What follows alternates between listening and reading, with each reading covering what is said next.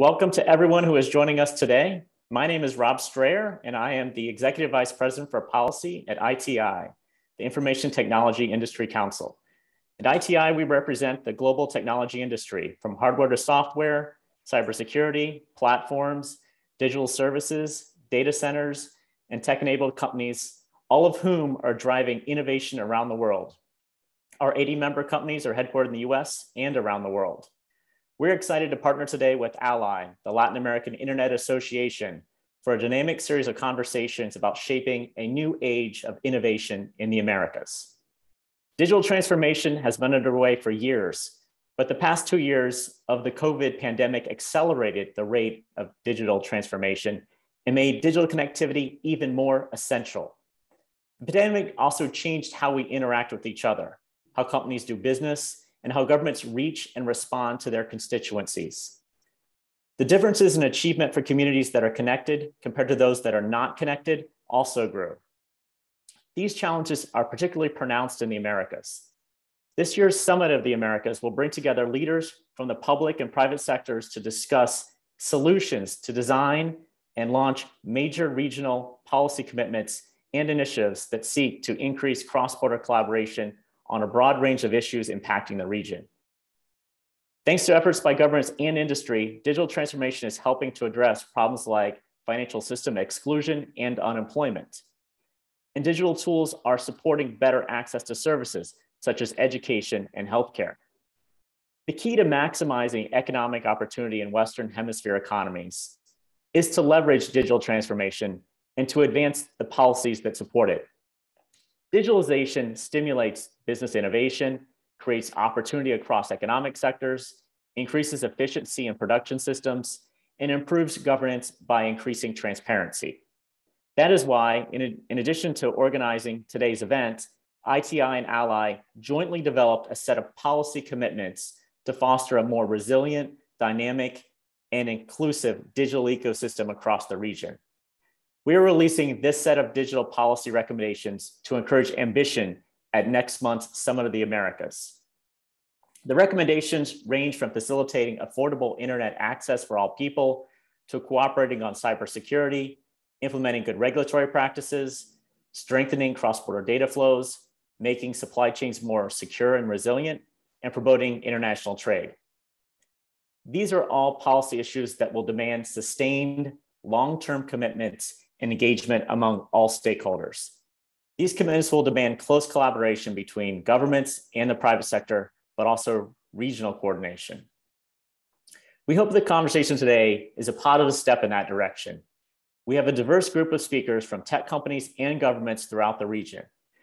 They will discuss their work and what the future of cross-border collaboration on digital policy issues should look like.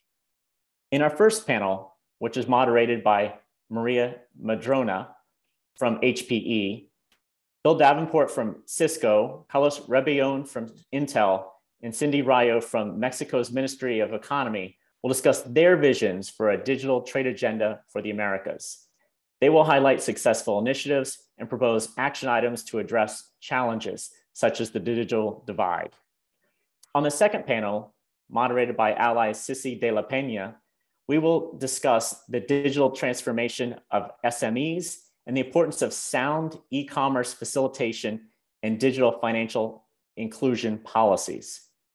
The speakers on that panel are Bernardita Piedrabuena from the Commission, uh, a commissioner at the Chilean Financial Market Commission, Francois Martins, Martins from Mercado Libre, Rafael Moreira from the Brazilian Micro and Small Business Support Service, and Ana Vasconcelos from Visa. As you can tell by the geographic distribution of our government speakers alone, the internet's essential to our discussion today. So now let's turn to the policy of how we can help millions more in the Western Hemisphere take full advantage of the digital economy. Maria, the floor is yours. Thank you, Rob, and good morning, everyone. Thank, and thank you to ITI and ALAI for the opportunity to discuss how the Americas can best leverage technology, digital transformation, and digital trade to emerge from the pandemic stronger and more resilient. As Rob mentioned, joining me for today's discussion are Cindy Rayo, General Director for International Trade and Services and Investment at Mexico's Ministry of Economy, Bill Davenport, Senior Director for Government Affairs at Cisco, and I think Carlos Rebellon is also joining us, Government Affairs Director for the Americas at Intel. The Summit of the Americas theme is building a sustainable, resilient, and equitable future. And this morning, we'll discuss how the summit, regional leaders, and policymakers can enable a policy and regulatory environment that promotes digitalization to help the region emerge from the pandemic stronger by stimulating innovation, transforming value chains, and supporting better access to, better access to services. We all know that the COVID-19 pandemic was a catalyst for accelerated digital adoption in Latin America. In mid-March 2020, internet traffic surged by more than 40% overnight. And according to Statista, 13 million people across Latin America made an online transaction for the first time in 2020. But digital adoption across the region remains uneven. According to GSMA, 45% of Latin Americans do not have access to the internet. That's more than 285 million people and around 45 million live in areas without any coverage, networks, or telecom services. So the baseline question for our panel today is, how can the Americas bridge the digital divide and ensure that digital transformation enables enables long-term value creation for the region? How can regional leaders ensure that advances in technology and increased adoption do not exacerbate inequality? So to start, let's drill down on the digital divide. Closing the digital divide in the region is key to reaping the full benefits of the overall digital transformation agenda. What are some of the technologies and policies that the region can implement to accelerate the digital divide? Let's start with a technology and industry perspective on this one. Uh, Bill, do you want to take this one? Sure, thanks, Maria. Uh, I should start by saying uh, thank you to, to you and to ITI for inviting me to participate in this panel. Uh, I actually just started at Cisco from the FCC less than a month ago. And uh, so this is my first uh, appearance on behalf of the company, and I'm really uh, looking forward to learning uh, from my fellow panelists. Um, so the digital divide is something that um, governments around the world are very focused on right now. As others have said, the major focus has been uh, in response to the pandemic, that all these um, services that before people were accessing possibly in person now really are available online. Uh, and I think the importance of being able to access resources like education, uh, working from home, telemedicine, uh, and many other things really just was um, brought home uh, during the pandemic as many people struggled to be able to access those things otherwise. Um, and governments are responding. Uh, the United States, for example, uh, has passed almost $100 billion in funding uh, to build out broadband infrastructure and provide support for people to receive affordable broadband. And uh, Latin America is also responding. There are governments uh, throughout Latin America that are passing laws that require the continuation of internet access during COVID-19 lockdowns. There are programs, I know uh, my fellow panelists are probably gonna talk about what Mexico's doing. Uh, so people are responding, but what's happening, I think, is that um, the importance of different types of technology is coming to the fore. And one of the things at Cisco that we're very focused on is Wi-Fi and how Wi-Fi is a very, really valuable resource for the unconnected and for the people who have um, who are underserved. Uh, Wi-Fi is something that um, many people rely on as a um, in terms of public Wi-Fi, in terms of shared Wi-Fi. Uh, in the United States, for example, there are uh, low-income communities, public housing communities that share uh, a Wi-Fi connection among multiple uh, building units. Uh, and uh, it's, I think, in the, you know, libraries, restaurants, there are cities that have public Wi-Fi resources available. And millions of people in the United States, and I think in, in other parts of the world, rely on these resources to, to stay online, particularly those who can't afford a broadband connection of their own. Um, and so one of the things that we are really trying to do at Cisco is just to make sure that uh, Wi-Fi is up to date and modern and that everyone who relies on Wi-Fi can actually make the most of their broadband connection. And so we have really focused, and I know we've worked with a number of regulators throughout Latin America to ensure that um, new spectrum resources are brought to the fore to make the most of Wi-Fi. And that specifically, I'm talking about the six gigahertz band and how um, know, many countries are adopting an approach of opening up the entire 1200 megahertz of the 600, 6 gigahertz band to Wi-Fi. Uh, we think that's really important because that will allow new technologies to be able to use Wi-Fi. As I said before, many low-income people rely on it, many small businesses rely on it, and having the full capability of being able to use Wi-Fi for these new technologies like ultra high definition video or virtual reality or augmented reality is absolutely critical uh, for Latin America to remain competitive and also for everyone to be able to enjoy the same services and opportunities as the rest of the world. Thanks, Bill. Thanks for that. At a Hewlett Packard Enterprise, we've been working very closely with Cisco on this effort across the region and across the world um, on opening up the six gigahertz band for these unlicensed uses, including Wi-Fi. Uh, you know, we totally agree and think of digital connectivity and internet access as an essential service, as essential as water and electricity. So um, Cindy, let's turn to you and, and see how Mexico's been dealing with uh, closing the digital divide. And I know you're engaged in many initiatives across the with governments across the region. So would love to hear your perspective. Yes, uh, thank you, Maria, and thank you to the ITE and ALAI for the kind invitation. Um, well, let me give you some kind of context. Uh, um, um, actually, we are facing uh, fragmentation and digital trade barriers uh, and, and all of these are increasing. Um, these, these create counterproductive effects and digital gaps. And I recently read a report from the OCDE, and the OCDE found that the main barriers to digital trade were, for example, data localization requirements, which has doubled to 62 countries. And this requirement is often justified under uh, on cyber, cybersecurity or data privacy concerns. There's also restrictions on the ability to use cloud services due to certification requirements, among others. So all, all of these kind of barriers it inhibits the development of electronic commerce and increases the costs, the costs and inhibits the, participate, the participation of SMEs in the digital trade. And from the from from my perspective and, and what we, we have been uh, taking too much account uh, in Mexico is that uh, there are many ways to overcome this digital divide or to, to limit these kind of barriers. Um, and I will focus on three main ways. Um, the first one is to ensure cross-border data flows. Mexico has included provisions in, in its recent free trade agreements in the digital um, uh, uh, chapters uh, include uh, an obligation to ensure cross-border data flows. Cross-border data flows are crucial for the growth of the digital economy, underpin the internet and the global economy. And also global data governance becomes more important in light of the implementation of new technologies such, such as 5G and the Internet of Things, as well as the acceleration of digitization triggered by the COVID-19 pandemic.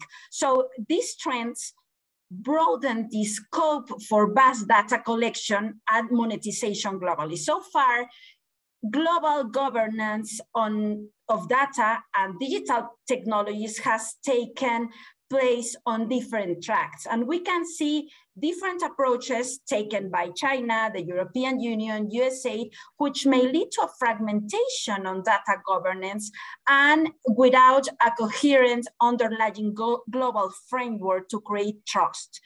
And this could lead to a blockage in, in terms of data sharing. So Uh, uh, uh, uh, we think that to address these concerns, govern, governments must allow free flow of data and collaborate on strategies to govern data and cross-border data flows. So, and it's also necessary to identify ways in which trust can be built through responsible data governance standards and, and certifications, and, and, and how enterprises can build trust, letting individuals and organizations see what is happening with their data. Another important way to, to, to address the digital divide is through the harmonization and convergence of rules at the international and regional le level. In the case of Mexico, several efforts have been taken during the last years to foster and to enhance regulatory coherence at both stages.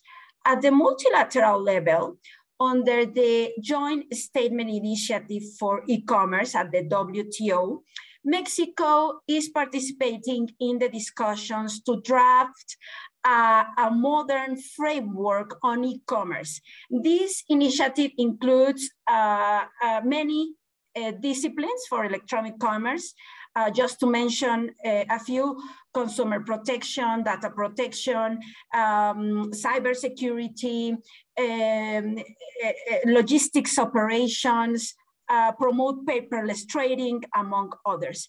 So the WTO members under this initiative seeks to achieve a, to achieve a higher standard outcome that builds on the existing WTO agreements and frameworks, and, and to modernize rules, harmonize regulations, which allow to the creation of open, transparent, non-discriminatory, and predictable regulatory frameworks. In addition to this, at the regional level, Mexico has been implemented several uh, efforts to close the digital gap. And, and I, let me give you an example. The Pacific Alliance uh, uh, Agreement, um, where Colombia, Chile, Peru, and Mexico are part of this agreement, we have been working together with the Economic Commission for Latin America, with the Inter-American Development Bank to develop actions for the creation of a regional digital market. This market is conformed by three pillars. The first one is uh, to improve access to connectivity.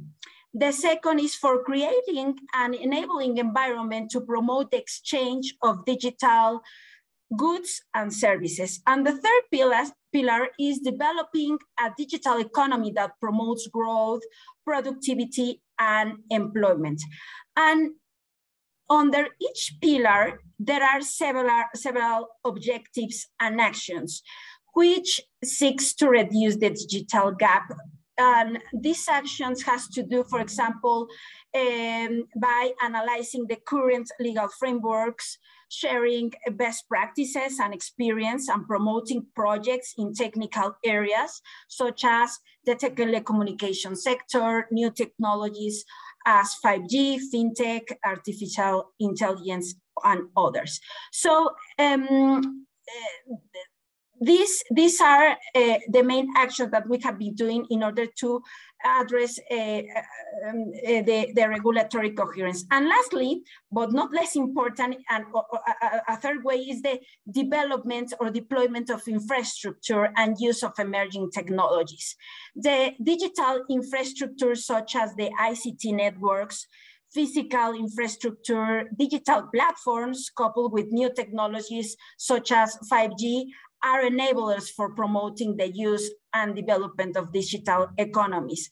And also a faster internet connections and access to the internet can enable SMEs to overcome information related trade barriers to entry and to foster the development of SMEs. So this can be achieved through the adoption of the ICT networks to, uh, with the adoption of 5 generation mobile networks, which are superior to the telecommunication standards of the, of the past. So this, uh, this can allow a, a, much higher uh, data download speed, and, and this will help to uh, transit to a next generation of um, telecommunications and to reduce the digital gap. So in some, I, I, think that I take a lot of minutes, but I, I just want to wrap up. Governments should work towards providing affordable, uh, high quality access to the internet and should develop policies for the mobilization of investment in the ICT infrastructure, both public and private, as well as in the creation of a regulatory environment to close the digital gap. Thank you, Cindy. It's great to have Mexico as a leader on these issues, not only at the multilateral level, but also, you know, at the regional level in the Pacific Alliance. Um, talking a little bit, moving and uh, it, it seems like our third panelist, uh, Carlos Rebellon from Intel, is having some trouble logging on. So we'll hope he'll join us a little bit later to add to some of these points because Intel certainly has a great perspective on these issues as well. Um, let's um, cindy you mentioned a little bit uh, about you know the the digital economy pillar of the of the Pacific Alliance. And I know that that pillar also includes the digital transformation of government services, or at least it did several years ago at the last meeting of the Pacific Alliance I've participated in pre-pandemic. And, um, you know, we know that the digital transformation of government service services can help accelerate this adoption of connectivity. You know, if citizens have a reason to connect, um, to, to pay their taxes, to access their health records, to to go to school. Um, it, it accelerates that adoption and as well as build trust in the ability of technology to improve transparency, fight corruption, and make government spending more efficient. Um, this was all accelerated out of necessity during the pandemic. What should governments be, be taking into account uh, going forward as they continue to the digitalization of government services? Um, Bill or Cindy, I have some thoughts myself. So um, from, from the Hewlett Packard Enterprise perspective, um, do you, either of you want to take this one first? Um, I'm, I'm happy to go first. Um, you know, a, a, as you said, um, the pandemic really accelerated a trend of moving government services online uh, that was already underway. Um, and what we saw uh, is that, you know, people, uh, those services really did struggle uh, in many respects. I think that the number of people that were trying to access a lot of these services online uh, just exploded. Uh, and then many services that were traditional sort of go to your local government office and you know process paperwork or interact with a uh, with a with a government official that wasn't available anymore because those offices were closed. Um, I remember at the FCC we received a lot of complaints about of um, permitting offices in the uh, government agencies not being open. So telecommunications companies couldn't deploy new equipment because they couldn't get the permits because the offices were effectively closed. Um, there are stories about, um, I know that the state of Florida, for example, um, had a, a fairly basic website for its unemployment compensation system that it wasn't great to begin with. And then when the pandemic hit and a lot of people were seeking benefits, the, the system crashed over and over and over again. And people who desperately needed those funds to support their families were cut off and had no opportunity to get that money. Um, so governments have been investing a lot of money and time into moving services online uh, to accommodate those needs and also really to, uh, I think, also accommodate their employees who are looking for more flexibility in terms of working from home. Um, so one of the things that uh, Cisco, I know, has been very interested in in, in helping uh, government agencies is moving services to the cloud so that um, information can be accessed more easily remotely. Uh, the information is also so more secure and um, things are just able to move more rapidly and more efficiently. And so um, speaking about unemployment compensation, uh, the state of Rhode Island actually moved its unemployment compensation uh, portal to the cloud, its entire system. And so that is operating at a much more efficient uh, pace. Uh, I think I recall something like prior to the modernization, the state could hold, handle 75 uh, concurrent calls into the system seeking unemployment compensation. And now it can handle 2,000 concurrent calls at the same time. So major, major improvements. I know we're going to talk about security later on, um, but also added security. So this is this is a trend that's really positive, and I think it's only accelerating. Thanks, Bill. I um, totally agree that um, it's really enabled a lot and facilitated a lot for, for people throughout the pandemic. But also, you know, from the Hewlett Packard Enterprise perspective, we think that governments can also generate really powerful outcomes when they proper, properly connect and leverage da data that's in the cloud. You know, it extracting value from from data from government services is essential to enabling governments to advance their policy goals, everything from improving healthcare and strengthening defense to advancing education and safeguarding the environment. Um, but I don't want to, I, I, see Carlos Rebellon has joined us. Thanks, Carlos. Glad to have you here with us. You know, we've, we've talked a little bit about the perspectives on bridging the digital divide and now digital transformation. Wonder if you want to jump in. And um, I know you, hopefully you were able to listen while you were having trouble logging on, but if you wanted to add anything from your perspective in terms of what policymakers in the region can do on um, bridging the digital divide and also in this acceleration of digital transformation of government services. Thank you, Maria, and thank you to all the audience and ITI and ALAI for this effort on, on having us with this discussion. Uh, indeed, I have some logon efforts. Cybersecurity is, is always a, an issue because you always need, at certain point in life, you are going to be asked by passwords and logins that you never use, but it's okay. So digital gap and digital divide definitely is, is an unsolved matter in the Americas. Um, and, and mostly because, because we are a region with a lot of, a lot of inequalities that most come from the combination of an affordability issues, geographical issues, and, and especially skills gap right? So, so we are not now facing not the typical um, digital uh, communications network access problem, but also with the with the skills gap, we are going to experience more and more uh, divide in terms of access to newest technologies like AI and so on. So the first realization that most governments and as an industry we may have is that no, the same formula that has bring us here is not the same formula that will help us to solve to solve all, all these problems. Uh, and affordability gap especially has been has been very pervasive and, and it can be solved if you keep taxing, if governments keep, keep taxing and rising spectrum fees.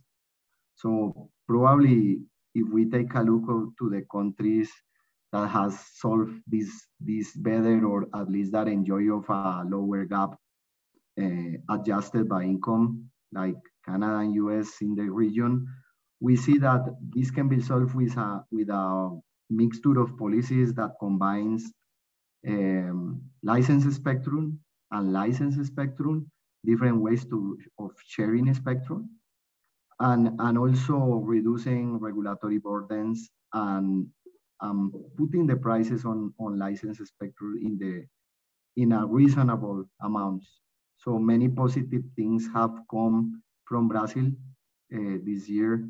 Uh, all governments recognize that Brazil is leading, allocating the enough spectrum required for 5G and Wi-Fi, and also uh, the at least the, there is a generalized perception that the prices were not fixed, uh, thinking just in fiscal in increasing increasing fiscal income.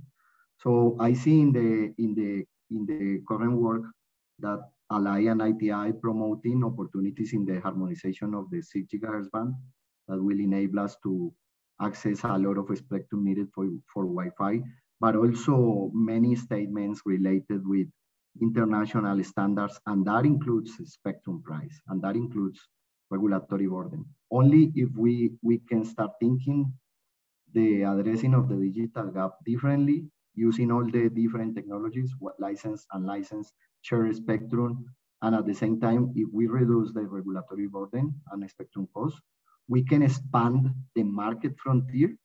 And by expanding the market frontier, you will need less funds to cope with the with the population that cannot be covered by the market.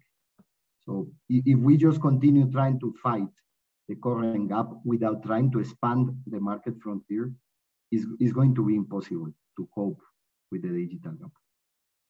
Thank you. Thanks so much, Carlos. I think it's great that you brought up that affordability piece of it. Um, it. It's really critical to ensuring that this digital transformation across the region is, is equitable. So thanks for raising that. Um, building a little bit on, on your cybersecurity challenges this morning and you know the cybersecurity risks that may be coming uh, with kind of this kind of accelerated we've said accelerated a lot today but this accelerated digital transformation um, across the region you know the transformation of digital government services and just you know online schooling. What are what are um, what should governments be and, and the private sector, it's the digital transformation across the whole economy. What should governments and private sectors be doing to manage these risks effectively um, in, in terms of security and, and perhaps also the privacy of their citizens? Bill and Cindy, do, do you, do you want to kick this kick us off on this one? Yes, sure, Maria. Well, I think that there are a lot of challenges in relation to cybersecurity from the public and from the private uh, perspective. And, uh, and the main challenge is to find an adequate mechanism for prevention and response. Uh, for instance, and, and given the nature of the fast evolving types of attacks in the cyberspace, it becomes difficult to adopt a prescriptive compliance approach to face cybersecurity threats. So far, an international regulation is, is in some ways not foreseen in the, in the short term. On the contrary, uh, there is a tendency that, uh, that, contra- that countries around the world um, have already considered different kind of approaches. But in the case of Mexico, we have already included uh, some provisions on cooperation on, on cybersecurity, for example, under the USMCA and under the uh, agreement uh, under the CPTPP, where there there are some compromises on cooperation uh, between uh, um, countries um, with, a, with a risk approach um, and in order to prevent the cyber security attacks. And let me just uh, give a specific example on what we have been doing uh, uh, with the US and with the with the US under the high level economic dialogue. Here we we have been working with with the US under this economic dialogue um, to to to find a collaborative collaborative way um, uh, or eh, through cooperation to mitigate or to exchange views in order to uh, share best practices, standards, uh, to mitigate threats, uh, strength, strength cybersecurity protections in the global value chain, and to facilitate cooperation in tackling cybersecurity challenges through international industry practices and its and standards. And just to give you a, a, a, an example, in uh, we have recently created a site a website dedicated to this high-level economic dialogue and uh, in, uh, in, the Ministry of Economy page. In this site, um, users, for example, can consult uh, the pillars of these projects, as well as some materials on cybersecurity best practices developed uh, and translated into Spanish uh, by the National Institute of Standards and Technology, the NIST. Thank you, Cindy.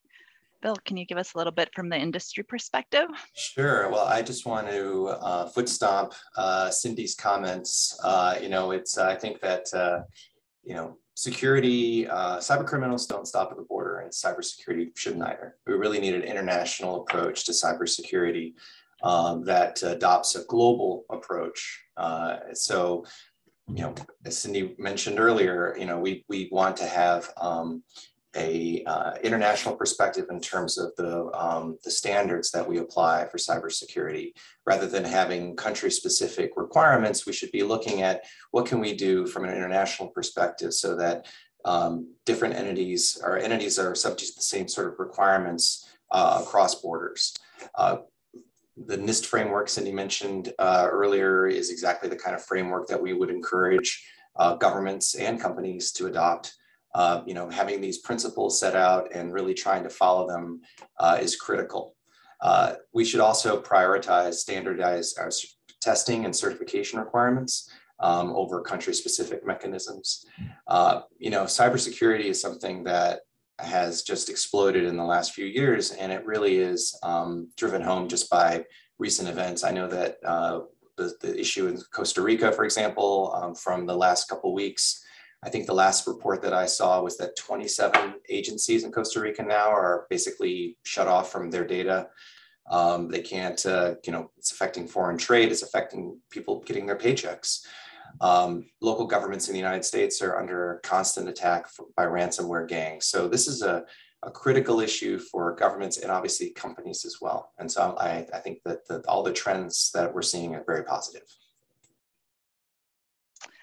Thanks, Bill and Cindy. Um, let's pivot a little bit to supply chains. Uh, one of the priorities for the summit is strengthening regional trade and supply chains.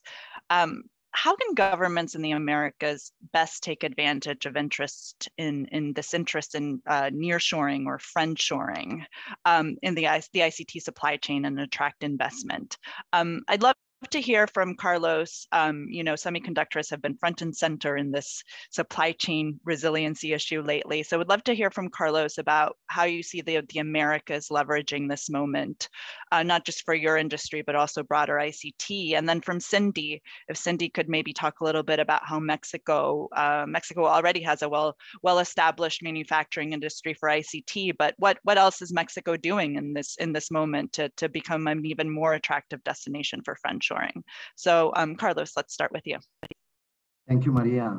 As, as you mentioned, semiconductor is only an example. We, we need a full comprehensive ICT goods and services value chain working in the Americas because there is no doubt that we can work better as an integrated market.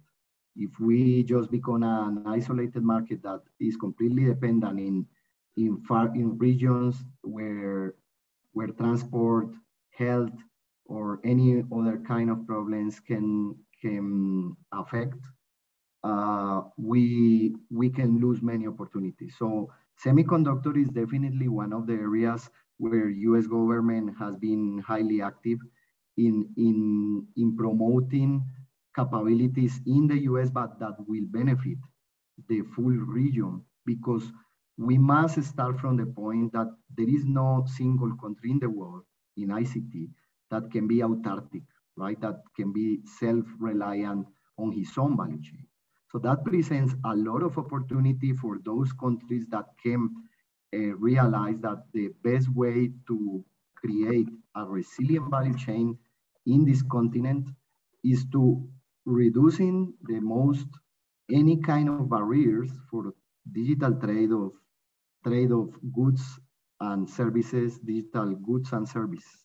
And, and that starts uh, by reviewing, for instance, devices. In many countries, devices are very hard to be entered. Homologations procedures has been growing everywhere and they are not standardized. So there are many opportunities there. In, in our industries, in many cases, in countries where uh, R&D is performed, like Canada, Brazil, Mexico, even Costa Rica, uh, you need to allow fast track mechanisms to, to import and export uh, test uh, equipment, for instance. So all these things uh, makes, uh, I believe that uh, may require a review where, where we must we must check where are the countries in terms of um, uh, World Trade Organization agreement on IT goods. We must review on fast track. We must we must review on on standardizing and making more flexible homologation rules and so on. Um, and with the easiness of, of, of goods moving in and out, we can we can be a more resilient uh, value chain, reducing the regulatory burden for IT goods and exports and imports. And in that sense, free trade agreements has played a very, a very important role. I, I just want to close saying that thanks to free trade agreements and this approach to, to commerce, in a country like Mexico, for instance, we were able to, to have a very positive dialogue with, with the legislative there, and we prevent that uh, a, a rule uh, called sovereignty, technological sovereignty, passed that was intended to prevent the imports of ICT goods. So Mexico is a good example where sovereignty is under discussion, but they realize that they can't progress in, so in technological sovereignty without having proper movement on goods and services between the countries. Thanks, Carlos. Totally agree from my prerogative as moderator and HP perspective. Cindy, can you just give us um, a couple of minutes? I'd like to turn, um, you know, to to to the uh, the idea of a regional digital trade agreement before we close, but just a couple of minutes on the perspective from Mexico in terms of, of, of this, how to leverage this moment in time and in the interest in near friendshoring.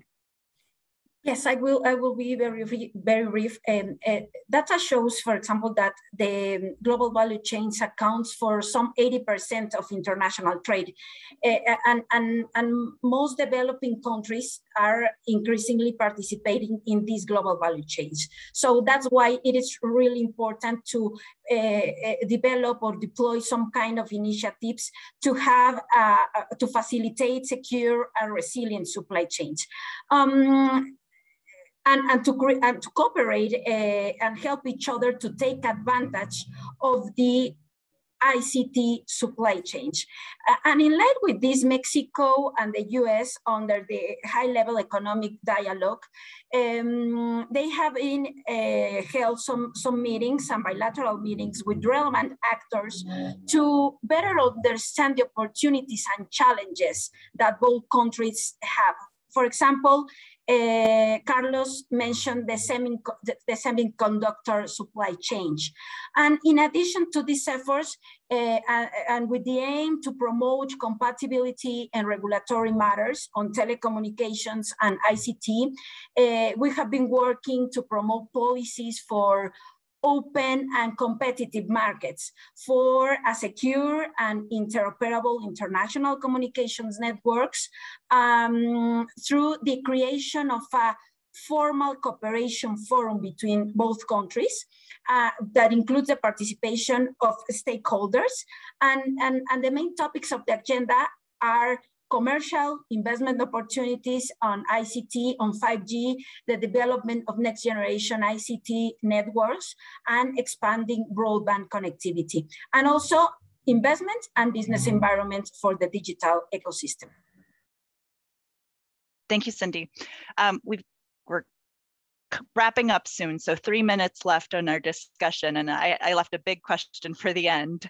Um, but you know, on our on ITI and ALAI's wish list for the Summit of the Americas for outcomes outcomes of the Summit of the Americas is uh, the initiation of discussions on a re regional digital trade agreement.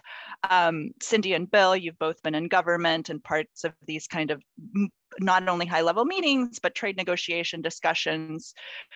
How do you see this progressing or moving forward at the regional level? Is USMCA the USMCA digital trade chapter the model, the starting point? Um, what issues should we prioritize? Um, welcome your thoughts on this. Um, well, I'll start, but I, am really interested in hearing what Cindy has to say on this one. Uh, you know, I think from from my perspective, I would say that there are two major priorities. I'm sure there are many other things that should be factored in, but uh, really it comes down to uh, the digital divide in cybersecurity. You know, I think actually having concrete uh, deliverables, uh, commitments uh, from the, the member countries, the participating countries, um, on, as we discussed earlier, a global approach to cybersecurity, international approach to cybersecurity, as well as um, you know commitments to building out uh, broadband infrastructure and, and addressing what, as Carlos mentioned earlier, uh, the, the affordability issue, that there are so many people that actually are in areas, particularly cities, that have access to broadband services but simply can't afford it. So, um, you know, a commitment from countries to actually to, to invest more resources and to work towards addressing that issue would be key from our perspective. Thank you, Bill. Cindy. Absolutely. I think that the digital uh, uh, chapter, um, commerce digital commerce chapter under the USMCA is a, is a, a great reference. It, it, includes modern provisions uh, and provides an international framework of rules and principles to generate certainty to the electronic transactions and operations, and also to uh, eliminate uh, obstacles to the development of digital trade. And the, the, the, this digital chapter lays the foundations to, to, to increase competitiveness of companies with the objective to facilitate the participation or promote the participation of SMEs in the North American market. So the, the USMCA aims to create opportunities for companies for the region and, and, and eh, with the idea that companies could get access to a great number of consumers beyond their, their communities and, and markets uh, because the North America uh, market represents 5 million potential consumers. So it is highly important to, uh, to, to take into account or to have this kind of provisions. And absolutely it is a, a, a reference. And I just want to, to, to add that there are challenges. The one is that uh, uh, one of the, the, the bill that, that, that, Bill mentioned related to cybersecurity. Uh, I think that this is the most challenging issue, issues, um, and, and because the, the, the, cybersecurity has a broad impact on areas such as national security, data, data security, protection of assets, uh, uh, uh and, and, and all of that. And another challenge under the USMCA um, is that we have an obligation under the, chap under the digital e-commerce chapter for not imposing custom duties, duties to digital products. Uh, and the great challenge is the expansion of the moratorium on tax uh, to enable small enterprises and consumers to get access to digital products at lower prices and in an effective way. Thanks so much, Cindy. Carlos, we're a minute over time, but I want to give you the final word on this. I think that uh, the exercise that all governments and authorities may do when they uh, produce or they are designing regulations is always to take a look to the, to the, in the case of Mexico, USMCA has a lot of provisions that, that are, are positive and, and, and it's a very positive exercise also when regulators are designing their technical rules and so on that may have an, a relation with import exports to take a look and, and review if they are compliant with treaties like USMCA or any other FTA with, in the case of the other countries in the region. Well, thank you all. Thank you, Cindy, Bill, and Carlos for the discussion today. I mean, I think we're in agreement that, you know, increasing connectivity is, and, and bridging that digital divide is key to enabling or to unlocking the benefits of the digital economy for the region and, you know, and plus the added need for, for digital skills and training. Um, thanks all. And now let me hand it over to Raul Echeverria, Ex Executive Director of ALAI, and apologies for running a minute or two over time. Thanks, everyone. Thank you very much, Maria. Uh, good morning, everybody. My name is uh, Raúl Echeverría, and uh, I am the Executive Director of ALAI, the Latin American Internet Association, um, a regional association of internet companies. we are very glad uh, to partner today with ITI for this uh, event that facilitates a very necessary dialogue in order to inform the discussions at the coming the America Summit this is a, a, very good opportunity, the summit, to advance the discussions on digital development and digital economy.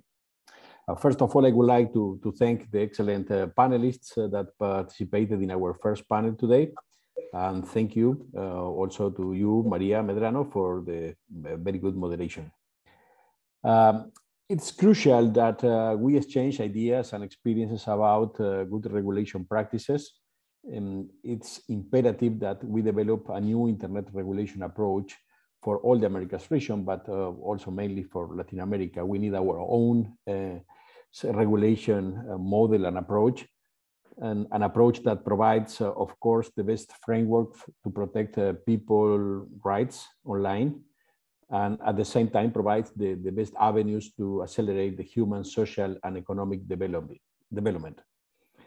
It's uh, for all the Latin America.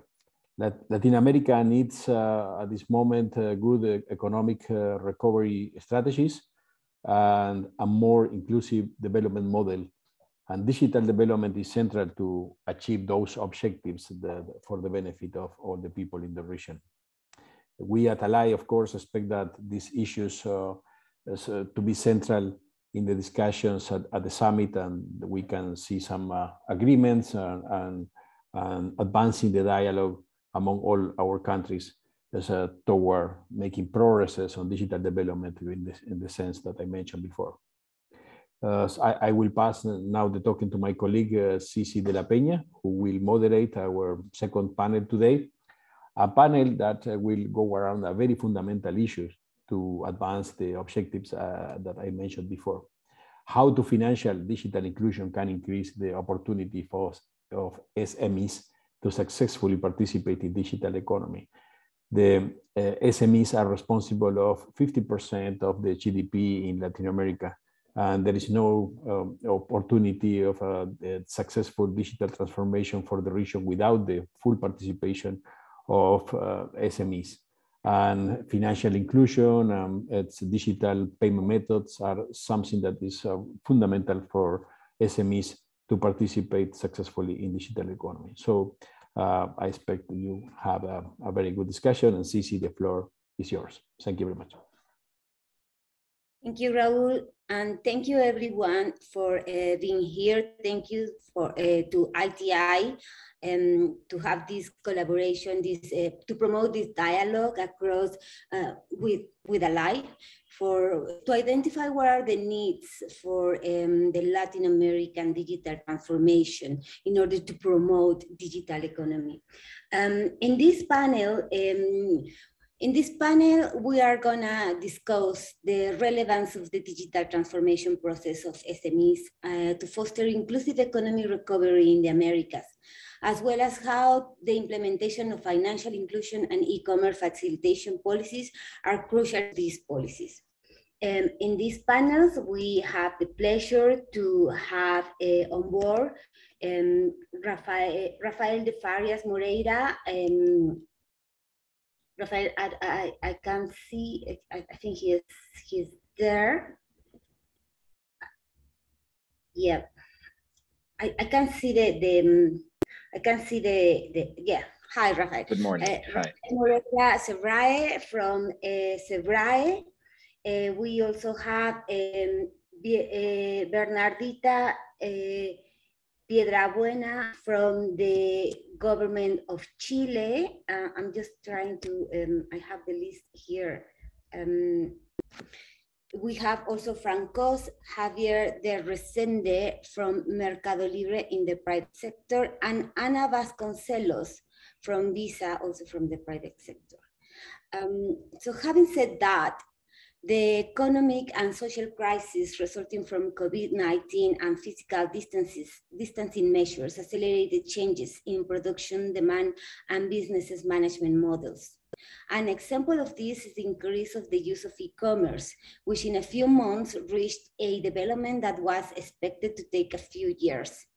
The need for a response, the need, um, the need uh, the need for a response to the crisis was with no doubt throughout promoting innovation and the use of advanced digital technologies, the development and adoption of digital technologies in all areas of the productive system will be essential for economy reactivation, opening opportunities for entrepreneurship and productive development.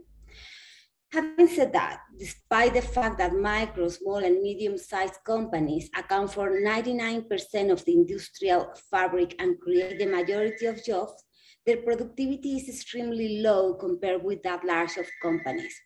So the digital transformation of SMEs is something that is definitely needed um, uh, and identify how this uh, process of digitalization could be incorporated. Um, and many small and medium and many small uh, and medium enterprises are still facing big challenge, challenges in order to include this into their daily, daily activities. The e-commerce may be the clearest example of how this transformation um, posted and was uh, and showed the need for this digital transformation across all the SMEs uh, in order to, to foster digital economy. Um, one element in particular within this framework is the digital payments which is just one part of the new generation of financial services and have a huge impact on the development of the economy and the development of a highly inclusive uh, from various points of view.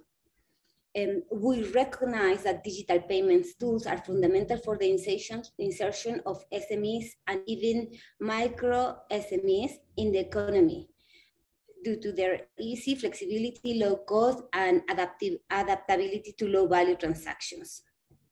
So in this sense, um, I, I would like to ask, uh, I would like to uh, to have a general question. Uh, probably uh, I would like to see who's the first one who would like to respond. Um, so given your current role, what have been the key priorities for your organizations when it comes to fostering digital transformation and financial inclusion? Um, probably we will, I don't know, uh, will we start? Anna, that, that's great. Hi, hi, Cici. Um, I work at Visa, and Visa has Visa's purpose is to uplift everyone everywhere uh, by being the best way to pay and be paid. Uh, so our efforts are focused on the design and deploy of, innate, uh, of innovative digital payment solutions that would help uh, individuals, business, and other stakeholders, governments, and etc., to participate in the digital economy. Uh, we believe that digital payments, which is our focus in, in my specific role, uh, would help to benefit the consumers, merchants, and also governments to the, reduce the size of the informal economy. And also, it's a critical source of empowerment to different stakeholders like the micro and the small enterprises that you mentioned, and also women or any other undeserved populations. And it, it, would also help to reduce business costs, offer security and convenience to consumers. Um, in June 2020, uh, Visa made a commitment to digital enable 50 million SMEs worldwide. And in my role, uh, I have to help to come to, to be committed to this, to this, um, to this commitment of Visa. So uh, in my role, I support the SMEs in the region to be digitally enabled to execute this commitment and also to help them to find uh, new and creative solutions to offer their products and services that could only exist in the digital environment. Um, usually we focus on easy to use solutions that will help those users, those merchants and small um, and micro businesses to do secure transactions and accessible transactions um, in, the, in their ecosystem and also help them to uh, be included in the uh, digital uh, sector, digital economy. Great. Thank you, Anna. That's, that's, a great initiative that you have had. Uh, it seems like you have been implementing quite a lot of initiatives in order to include this. Uh, as we were saying before, the digital payment uh, component is being, has been essential. And looking at the digital transformation of MSPs from a financial uh, inclusion standpoint, what challenges and opportunities does the pandemic present for the economy and inclusion of MSPs in the digital economy? I would like to hear from Bernardita, who is the commissioner uh, uh, for the Central Bank of Chile. I would like to hear this perspective from the government point of view. Thanks, Cici. Many thanks for the invitation. I want to to precise that I don't work at the Central Bank of Chile, I work at the CMF, that is the uh, regulatory authority in Chile as independent from the government. So as I said, the CMF is in charge of the supervision and fiscalization of the all financial market in Chile, except the uh, pension funds uh, our mandate is to ensure the financial stability, appropriated market conduct, and promote market development. In this sense, uh, we saw during the pandemic a lot of opportunities and, and challenges for the, the financial inclusion, not, not only for SME, but also for the more vulnerable people uh, we saw that the opportunity to, to offer better and customized financial services uh, was there and was uh, and the financial the fintech sector take advantage in order to offer this product using technology. I mean by technology lending by platform crowd lending crowdfunding credit credit scoring using algorithms uh, identity verification, in, insurance tax, uh, access to payment system, because the, the uh, ecosystem for payment system was prepared before the pandemic because of there are some law and norm in, in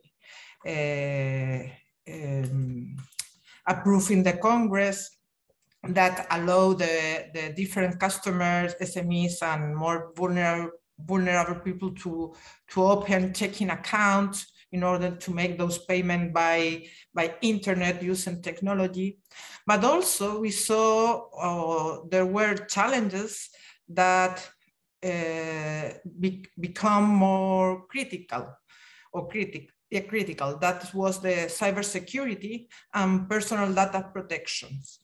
Uh, and in this sense, uh, in the government, uh, they are um, making progress in some laws that are necessary in order to regulate those aspects in the market. Uh, one of them has approved, the only one is still discussing in the Congress, the Personal Data Protection Bill. And and that is a challenge for the SME, for the technology, for in particular for fintechs, uh, the financial uh, firm that use technology in order to to to offer their products. Um, I I finished there in order to give time to the other panelists. Yeah, thank you very much, and thank you for highlighting the regulatory and the norm, um, the, the, particularly the regulatory framework that uh, faces some, well, that the fintech sector are facing in terms of challenges. And in that sense, I, uh, I will let Francos to, to give us an overview on how from the financial point of view um, and policy convergence, um, merging for digitalizations, what is the degree of integration with other promotion policies and coherent design for the development of the productive sector for the SMEs? I mean, what are those uh, challenges from your point of view? Um, what could you tell us about how the development of the fintech sector across the region in an environment or in a company like um, uh, Mercado Libre, where basically it's just uh, giving an space for SMEs to boost and to and to come back to the economy for those who probably lose their jobs. I mean, it's a tool for the SMEs to reincorporate or to incorporate to the um, digital economy. Meanwhile, the fintech component of this uh, e-commerce has been a key element in developing this uh, this activity. What could you tell us? Thank you, Cici. Uh, first of all, thank you to ALAI and um, ITI for the invitation. It's a, it's a, pleasure to be here with all of you. Um, yeah, so let me uh, focus on, on three key priorities that maybe can help us uh, uh pose a discussion here. So lately, uh, I think three key priorities have been uh, business resilience, access to services, and moving the regulatory and business environments forward and see if we can address the challenges of tomorrow. And uh, what we've been doing for the late um, uh, for the latest 20 years or so is exactly that, trying to move the needle towards the challenges of tomorrow. And really what happened with the construction of the Mercado Libre ecosystem was that we started from an e-commerce uh, idea to give access to to democratize commerce, which is exactly our mission at Mercado Libre, uh, our initial mission. And we found out that for that, we needed to give some confidence in that ecosystem that people just didn't really perceive as being uh, safe and sound for their businesses to thrive and for um, their needs to be fulfilled. So what we tried to do is uh, was to um, lay those confidences. We, we had to build Mercado Pago in order to give confidence in the financial transaction that needs to occur in one sense, and then you have the logistics uh, uh, side of it that occurs on, on, the other on the other end of the transaction. And with that, we found out that one of the great gaps of the digital economy is really to move money around and to help people, uh, as Anna was saying, um, pay and be paid. That's one very hard thing to do, especially in our region where people are not really connected to the grid. I mean, the electrical grid is a very basic need, not really connected to the internet. And we need to help them get connected there. And once they are there, we need to give them the tools in order for them to be able to develop their economic activities, personal activities, if they're buying something. And we need to do that with some sort of some level of resilience and confidence. So this is what we've been trying to do to offer. And uh, I think we've been uh, uh, we've been able to see during the pandemic that it was absolutely key for companies like ours to be able to uh, accelerate what they had uh, forecast for the next five or so years, accelerate that and ex execute in one or two years in order to offer those services to the people who were needing them. As you mentioned, some people uh, lost their jobs, people lost their revenues, and they had to find ways to be able to uh, overcome those difficulties. And certainly the digital economy helped that. Um, and if we want to actually have a positive impact here, we need to do this in a comprehensive, uh, coordinated way. So this, as I mentioned, uh, our financial arm came from the e-commerce need, right? So it's not out of the blue. It's absolutely from a need that comes from elsewhere that probably wasn't seen at the beginning. We need to do that.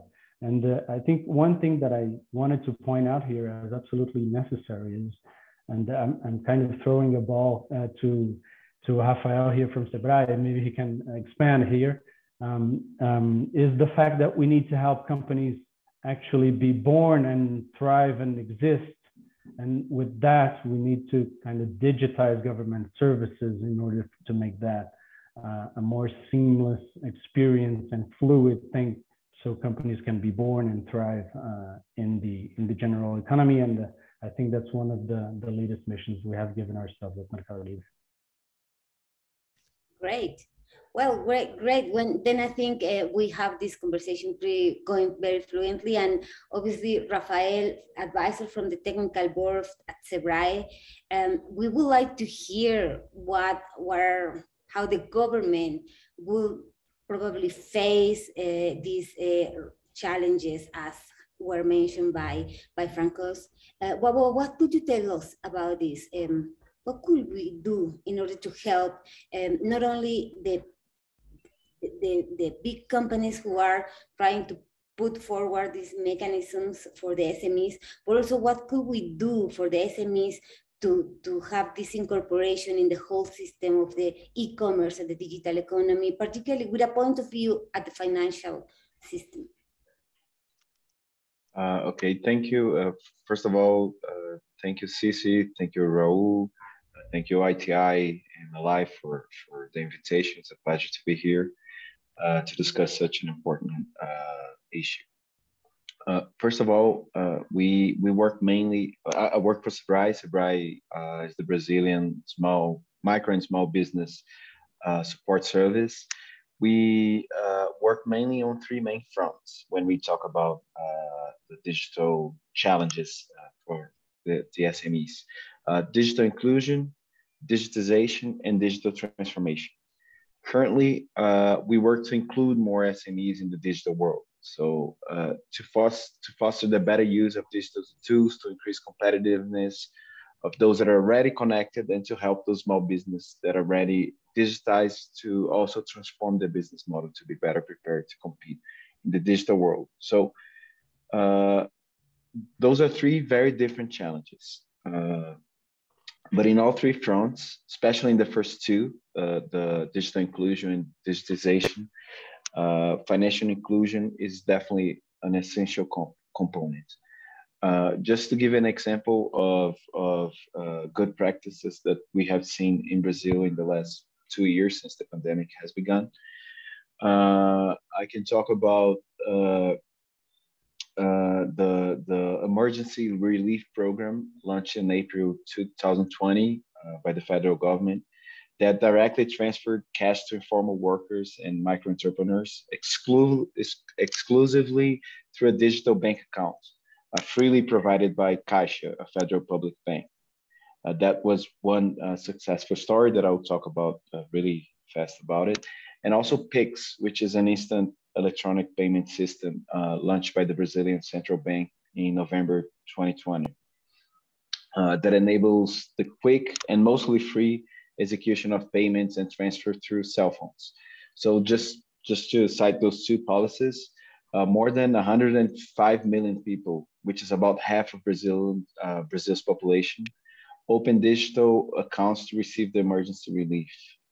Uh, 35 millions of them uh, had never had a bank account before. So that's about 60, 16% of our population. In less than two years of its existence, more than 125 million Brazilians already use Pix, which is already the main way of transferring money in Brazil. So now nowadays in the retail and service sectors, virtually virtually every small business, formal and informal in Brazil, accept Pix as a mean of payment. So just to give these two examples of how we can use uh, uh, uh, the financial inclusion inclusion policies as, as as a way of also helping with the digital inclusion. But Francois uh, brought a really important issue, which is how we can work with uh, SMEs to make them uh, be competitive in, in this world uh, dominated by, by huge platforms that obviously help them to sell more, but also uh, pose challenges because they have less, uh, uh, I would say, sometimes they have to, they have smaller margins because of that. So it's a very competitive world and, and Sebrae has to help uh, not only those that already sell in those huge marketplaces so how can they they uh, can get better margins how they can sell more but also how can we help new businesses or uh, established business uh, to enter those platforms in a, in, a, in a more competitive way so those are huge challenges Sure, definitely. And you mentioned something very important um, here. You said uh, it is a very competitive world. And um, given the fact that uh, in this global uh, economy at the moment and how uh, and how Mercado Libre previously said um, this them, with this democratization of the trade industry in a in a very competitive world we need to help SMEs in order to be able for them to incorporate this. Uh, and, and this is a responsibility from various sectors. So I wonder, Anna, and, and I also would like to hear the, the same point of view from, uh, from Bernardita. What do you think uh, private and public sector, how do you think private and public sector could work together to address some of these challenges in terms of this competitive business, in, in terms of this um, digital trans, uh, transformation, in terms, particularly in the sector, in, in the frame of the digital payments, financial uh, fintech sector. Uh, how can we make those uh, synergies to work together in order to to help these SMEs? Because ba basically, at the, at the end of the day, um, the SMEs in Latin America provide approximately for 90% of jobs across the region. Um, so, so it's something that we definitely need to foster. So I would like to hear from you, Anna. How can we make these partnerships, I mean, but to make them, um, I mean, to make them real, make this Good, thank you, Cici. Um, I think the public-private collaboration is is key, and it have, have have brought digital maturity in the past to the ecosystem. And I think it's essential that they work together, the government bringing the, or the public sector, bringing their expertise and enable, enabling uh, like policies to enable those SMEs to grow. And let me talk about that first and then the private sector, how they can work together. But in the, in the public space and the, and the policies needed for those SMEs to be included and to be able to, to compete to the point that we've discussed before. I think uh, those policies obviously vary a lot from country to country and place to place. but I think they, they their goal is very similar, and they they move around three topics: the trust and security for the SMEs to do their business, the opportunity for them. I think a, a very important thing is the um, is the frictions that they have today in trade, in the exchange of their goods and services. So I think the, um, the policies around trade are very important to open the opportunity for them to, to be able to sell their products and services to uh, anywhere. But we also need to help them to have the, the skills, and we've talked before, to use the tools, to use the digital tools that we will enable for them, the private with, uh, with the public uh, sector. And those skills uh, we help, it would be to help them to be empowered uh, to adopt those tools, those digital tools that we've talked. And to give an example of a public and private um, uh, collaboration that went very well, I'll give an example with Visa. Uh, we worked with the Dominican uh, government. We piloted um, an educational platform uh, with a non-profit organization in the country. And this partnership had the goal to allow women that are entrepreneurs in the market to increase their knowledge in budgeting, market, and business knowledge to help them to grow that, their, that business. So Visa worked with the Dominican uh, government and this nonprofit organization to, to do this pilot with the women's entrepreneurs. And the pilot proved to us that the digital tools that can help to educate them and to empower them in their business uh, would help uh, small, micro and small businesses like the women's uh, and entrepreneurs to grow their businesses and to be able to be educated to use those digital tools. So I think this is the kind of example of um, partnership between public and private that can work and that we can help to uh, develop the ecosystem of uh, micro and small businesses. Great, thank you.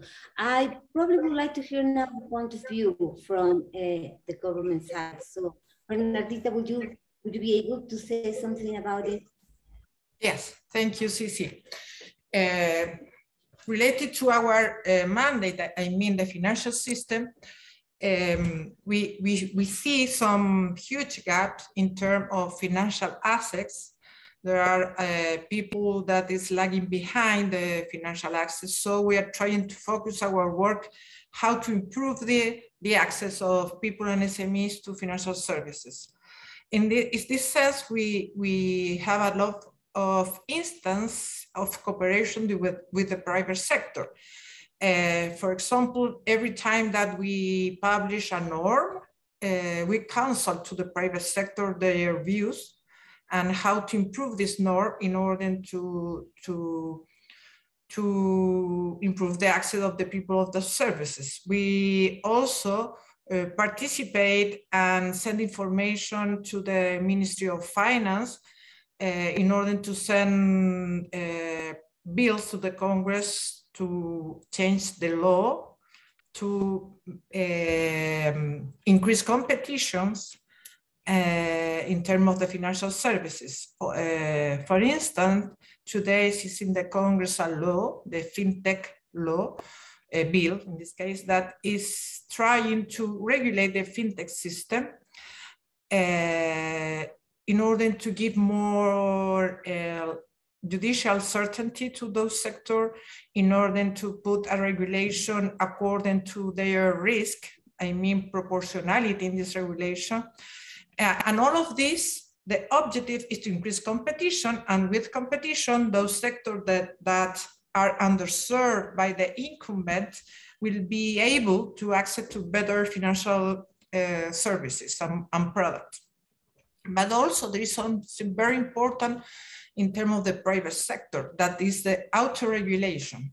Sometimes the, the, the, people that is underserved by the financial system is people that don't, uh, don't have enough edu financial education. So uh, not only the, the, the law, the norm, and the government regulation has to deal with this uh, matter and try to, to make a, a system that is friendly and protect those people, but also the private sector has to be uh, aware of the of to um, not to, uh, or aware to be very transparent with the sector, aware about the, there is some abuses in the, in some part of the industry to, to deal with that, to, to try to correct that.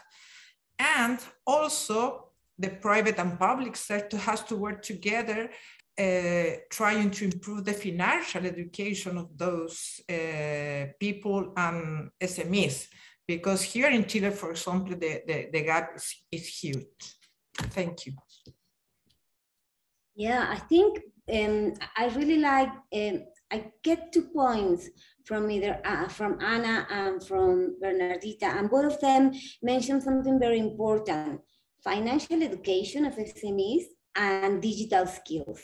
I, I take these two points from these two points of views from the government, from the private sector, something as, as it is very, very relevant, something that we need, uh, probably something we need to put forward in order to help uh, increase the digital transformation of the SMEs uh, within the digital economy of the region. And uh, in that sense, probably we are just um, about the closing uh, near to the near to the end of the time. Uh, in that sense, I will leave this uh, open question to any of you.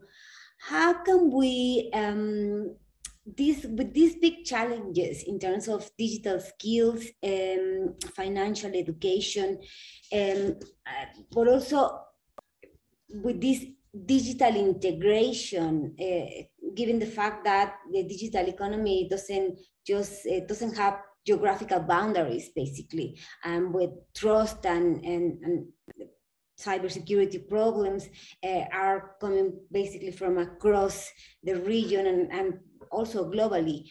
Um, with these um, digital skills, financial education across the region, which are the mechanisms or the the forums, the what are the activities, what are the, the, the tools that we that we could do as a way of integration in this financial, from this financial point of view across the region. I mean, how the what are the governments in terms of uh, Brazil, Chile, uh, in this case, uh, what are those international forums, commitments, how can we make this integration to work in order for us to help the SMEs with a particular point of view on these uh, uh, digital skills and financial education. Um, does, does, anyone has anything to, to say about it? I can go if you want. Please. Yeah. Okay. So um, as uh, Anna and Bernardita were speaking, I was thinking of uh, one very good example of uh, public-private uh, cooperation, and this one is uh, a Brazilian one. It's the open finance uh, infrastructure and governance. it's um, it's a big, big effort from both sides of the, the table, the public and the private sector. It was a very big push from the Brazilian central bank. It was really uh, adopted by the private sector. And today, I think we have a very strong governance structure. It's still evolving, but it's very strong, very multilateral. And it really, uh, in, in my opinion, as a policy professional, really showcases how, uh, how good we can work together and how how big things can be achieved if uh, we give it the energy and the effort uh, necessary. Um, it really transformed the Brazilian landscape, services and access. It really increased competition. Uh, it really gave access to new service providers, and with that, it gave access to people to new services in general, right? So it really comes down to financial inclusion in the in the end it, it is what it does. And uh, I think it's a very good example of, of uh, interoperability. As you were speaking of convergence and uh, inclusion and how we can do things together, I was thinking uh, maybe in a larger uh, landscape internationally. Uh, one very recurrent word is interoperability. So you need to make what's happening in Chile, for instance, work with what's happening in Colombia, in Brazil, in Argentina, in Mexico, if you want this region to be more integrated. And if you want people from those countries to have access to people from other countries and then expand their businesses, right? So this is a key thing that I think we should always uh, thrive to develop. Um, interoperability, it's been discussion at the WTO, it's been discussion at UNCTAD, it's a recurrent discussion within our countries. And uh, I think it's absolutely key that we have uh, this in mind as we speak. Financial services in general, not only payments, but whatever transaction we need to to do, uh, we need to have the services from one side of the border and the other side of the, of the border integrated and operational to work together. And that's absolutely key, not only domestically, but internationally as well. Great. No, definitely. I, I do definitely agree because in terms of integration, we probably have discussed in various forms other uh, areas of the digital economy like data transfer probably. But we haven't really talked about uh, this integ integration in terms of uh, interoperability for the financial sector for the fintech sector something that probably um, or we haven't discussed that much indeed across um, with other the integration with other policy areas. Um, Rafael, what could you tell us about this for this digital integration on this financial sector point of view across the region in order to develop digital economy and SMEs.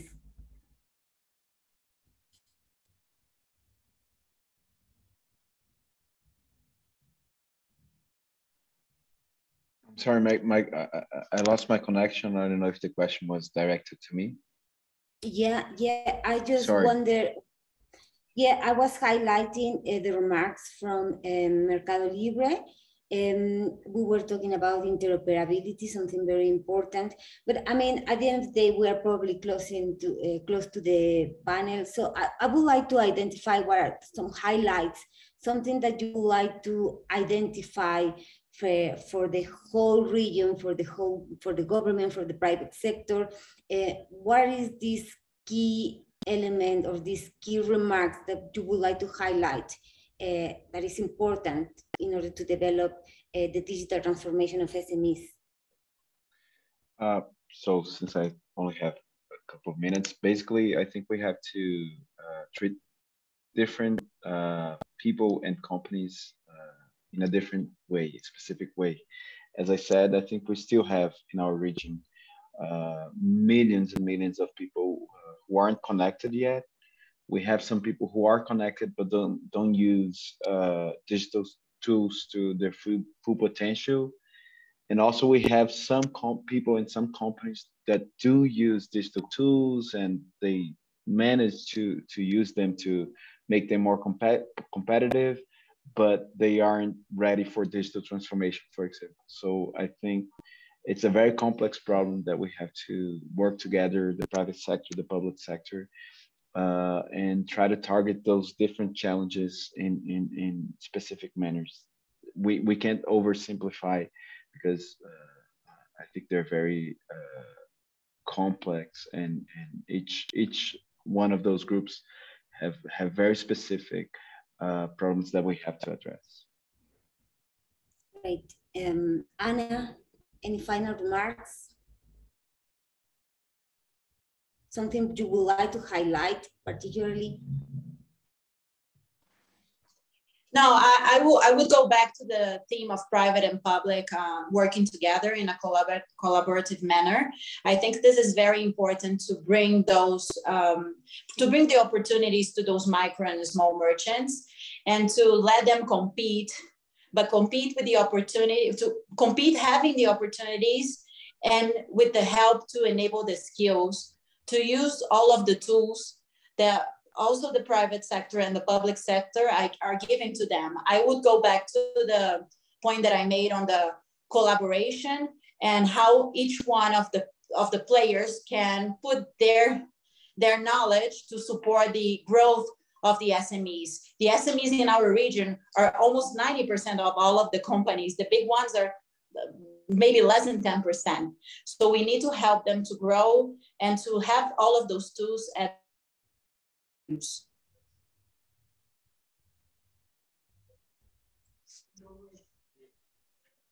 sorry, I, I, don't know if it was only me, but I, I missed your last phrase. I, I, I couldn't hear your last phrase. I don't know if it was the same for the rest of the people. Well, I said that, um, can you hear me? Yeah. Yeah, I said that the SMEs are 90% of all of the companies in, the, in our countries. So it's very important to enable them uh, with the correct skills to use the tools that the public and private sector are putting in their disposal because they are the majority of the companies in our ecosystem. So we need to help them to grow and to use those tools that we are enabling for them. Uh, it, it, doesn't serve if we do give the tools, but they do not know how to use. So I think the private and public sector need to collaborate to the education that we've talked before. Perfect completely agree.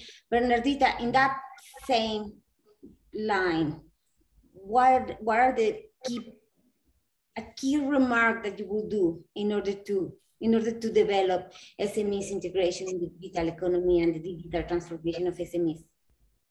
Yes, uh, I would like to remark something that is related to what Anna says, uh, said, is that the um, financial system has to put in the center of their uh, occupations the, the, the clients, SMEs uh, or vulnerable people.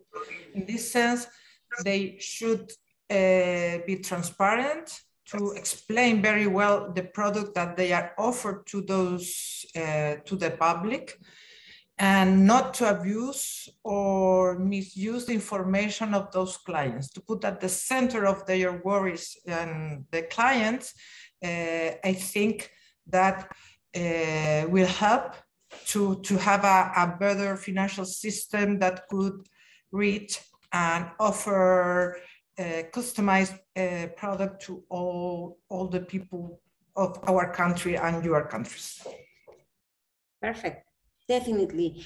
Well, I think we are at the end of the panel, and as a closing, um, as a closing line, I probably would like to say that hearing from all of you, um, we do agree that we probably need to work in promotion of financial inclusion by uh, adapt, advancing in the adoption of digital payments and broader digital financial systems uh, in order for us to uh, digitize payment and the, of the public sector fees and charges for greater transparency.